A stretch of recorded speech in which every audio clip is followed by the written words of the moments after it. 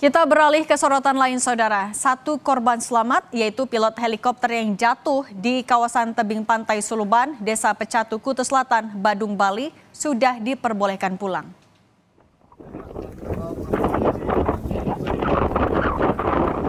Setelah menjalani pemeriksaan medis dan perawatan, satu korban luka yaitu pilot dari Helitur PK WSP atas nama Dedi Kurnia yang mengalami kecelakaan dan jatuh di Pantai Suluban, Bali telah dipulangkan. Korban diperbolehkan pulang dari Rumah Sakit Universitas Udayana dengan kondisi stabil. Sementara keempat lainnya masih dirawat di Rumah Sakit Siloam dan Rumah Sakit Umum Jembaran.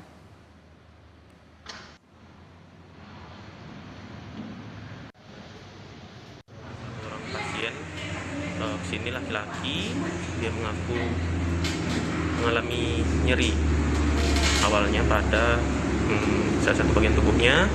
Uh, kemudian kita lakukan pemeriksaan. Kita pasiennya bilang bahwa dia pilotnya.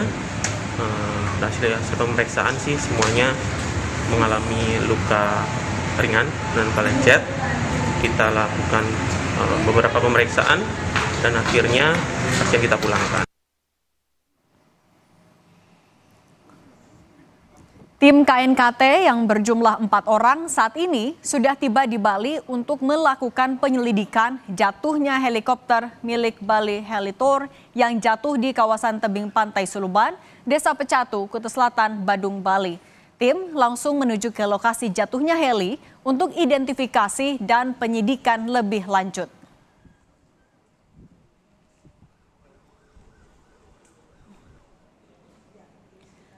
Sementara Kepala Kantor Otoritas Bandar Udara Wilayah 4, Agustinus Budi Hartono menyatakan helikopter ringan jenis Bell 505 Jet Ranger X dengan registrasi penerbangan PKWSP milik Bali Helitor di dalam sertifikat pendaftaran tidak disebutkan nama Raffi Ahmad sebagai pemilik Helitor.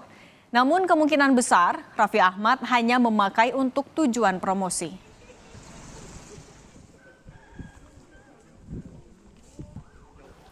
Di dalam sertifikat pendaftaran pesawat udaranya nggak disebutin Ahmad sih. Ya. Ah. Bisa jadi promosi aja. Ya. Sekolah saya lihat itu namanya PT eh, Indo Aviasi Perkasa. Itu pemiliknya. Nah kalau mau dicek lebih detail lagi siapa, eh, siapa di, bel- di belakang itu ya siapa.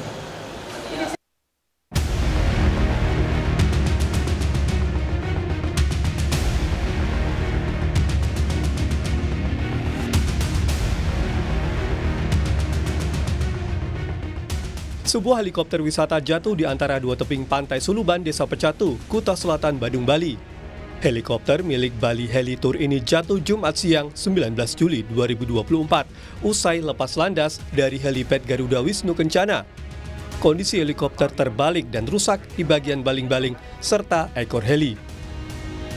Dari situs flightradar24.com, helikopter ringan jenis Bell 505 Jet Ranger X dengan registrasi penerbangan PKWSP terbang dari helipad di sekitar Komplek Garuda Wisnu Kencana.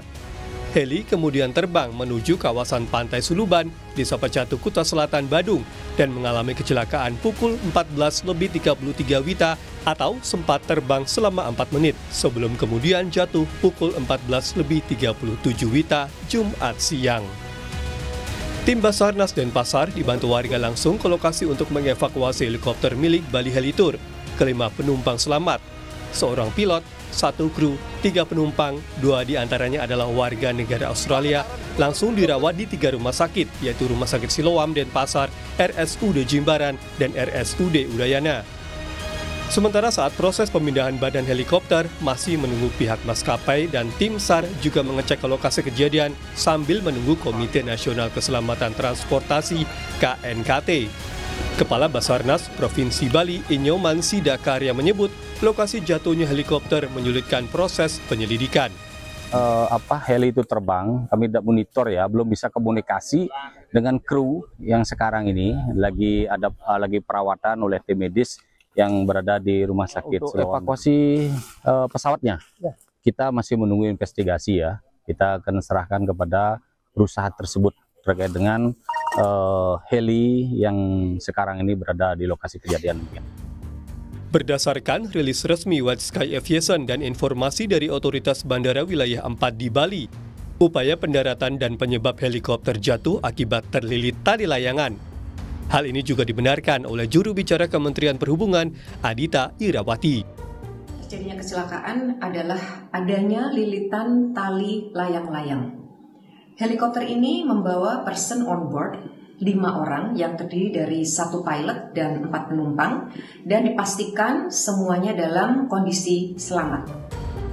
Saat ini proses pemindahan badan helikopter masih menunggu proses penyidikan dari KNKT selesai. Sementara kelima penumpang helikopter selamat yang dirawat di tiga rumah sakit yaitu Rumah Sakit Siloam, Rumah Sakit Umum Udayana, dan RSUD Jimbaran baru satu orang yang diperbolehkan pulang. Tim Liputan, Kompas TV. Untuk membahas terkait helikopter yang jatuh di Bali, sudah bergabung bersama kami pengamat penerbangan Alvin Lee. Selamat sore, Pak Alvin. Selamat sore. Selamat. Pak Alvin, sore belum terdengar? Iya, selamat sore, Mbak. Oke, Pak Alvin, kalau yang Anda cermati sebenarnya kan dugaannya adalah ada lilitan dari tali layangan. Tapi padahal ketinggiannya juga sudah sekitar 900 kaki. Apa yang Anda baca dari kejadian ini sebenarnya? Iya, sangat disayangkan bahwa di Bali ini dalam bulan Juli ini sudah dua kali terjadi uh, insiden uh, helikopter terlilit tali layang-layang. Yang pertama adalah pada tanggal 2 Juli lalu. Dan waktu itu masih beruntung heli dapat mendarat darurat, tidak sampai mengalami kecelakaan dan tidak ada korban cedera. Ini yang kedua kali kemarin. Ini tentunya sudah menjadi apa lampu merah ya, uh, kondisi darurat perlu adanya penataan yang lebih rapi di Bali tentang di mana masyarakat tetap dapat melaksanakan kegiatannya bermain layang-layang karena itu sudah bagian dari kegiatan masyarakat setempat, uh, tapi diatur. Nah, uh, di Bali ini sejak tahun 2000 memang sudah ada Perda nomor 9 tahun 2000 tentang larangan menerbangkan layang-layang di kawasan di sekitar Bandara Igusti Ngurah Rai. Tapi sejak tahun 2000 kita sudah banyak perubahan-perubahan. Yang diterbangkan sekarang bukan hanya layang-layang. Ada drone, yang mungkin juga balon udara. Kemudian juga sejak tahun 2000 sekarang juga sudah ada helipad. Yang mana tidak eh, helikopter tidak take off landing di bandara. Maka itu perlu ada pengaturan lebih lanjut ketika ada helipad itu juga uh, ada kawasan keselamatan operasi penerbangan helikopter di mana masyarakat sekitarnya juga dilarang menerbangkan layang-layang uh, dalam radius sekian kilometer misalnya. Demikian juga penerbangan helikopter juga perlu diatur koridornya, di mana okay. mereka boleh terbang, di mana mereka harus menghindari terbang, karena okay. ini juga terkait dengan kegiatan masyarakat. Demikian. Oke Pak Alvin, tapi kalau uh, kasusnya adalah terlilit tali layangan, sebenarnya yang paling membahayakan helikopter itu ketika tali itu melilit bagian apa atau terkena badan pesawat bagian apa?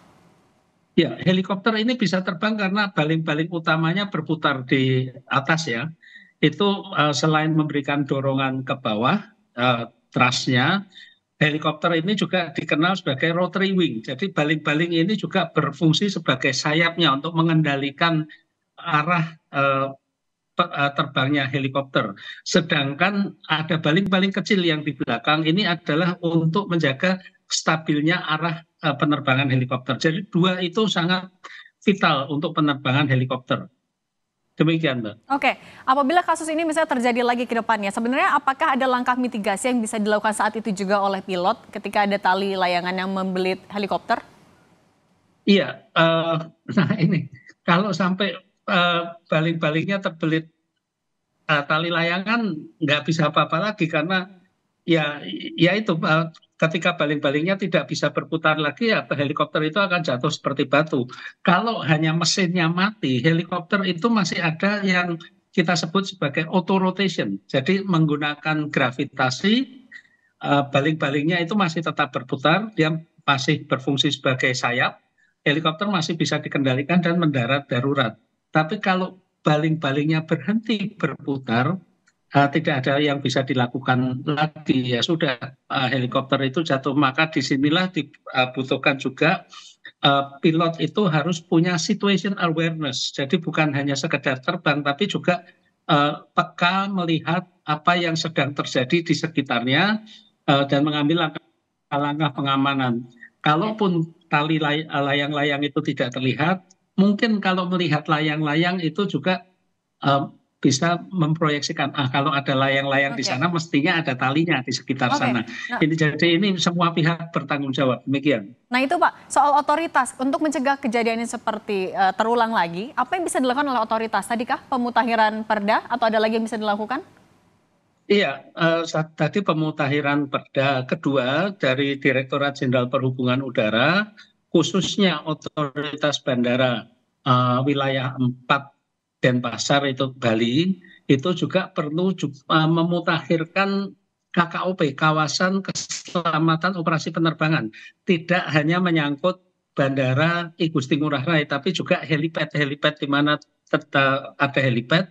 Di sana juga harus dinyatakan sebagai kawasan keselamatan operasi penerbangan. Dan yang ketiga tidak kalah pentingnya adalah melakukan edukasi kepada masyarakat okay apa yang boleh dilakukan, apa yang harus dikendalikan, okay. dan mengapa? Karena tanpa partisipasi publik dan mustahil keselamatan penerbangan ini dapat dijaga. Demikian. Oke, okay. perlu ada kerjasama dari semuanya untuk mencegah hal serupa. Terima kasih Pak Alvin sudah berbagi di Kompas Petang. Saya selalu Pak Alvin.